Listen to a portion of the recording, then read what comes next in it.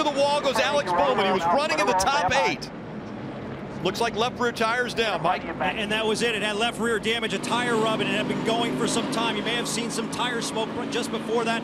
The team was scrambling. They were ready to come down pit road just before he slammed the wall. Also, the 24 of Chase Elliott. We saw a little smoke coming out from Chase Elliott. May have been some contact on that restart. Left rear tire smoking right here, coming off from turn four down the front stretch. The 24 is to his inside. You go down into turn one, the 88 has a flat tire. Yep, you can already He's see it up there. against the wall, and when he has a flat tire, out of screen goes the 24, who I think also had a flat left front tire. And got into the wall as well hard. Yeah, they're back up here. You can beat this 24 on the outside. You say hi, say hi. All right, hold the brake here. Just hold the brake. Just hold the brake. Hold the brake. You roll, roll now. Let it roll. Stay up high. You see the in-car, the Let it roll, 24 stay also high. has a flat Brake in tire. front of you. Back it down.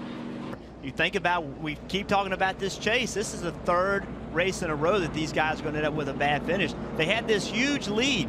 They were, you know, they were high up in the chase grid, but those points are coming off quickly.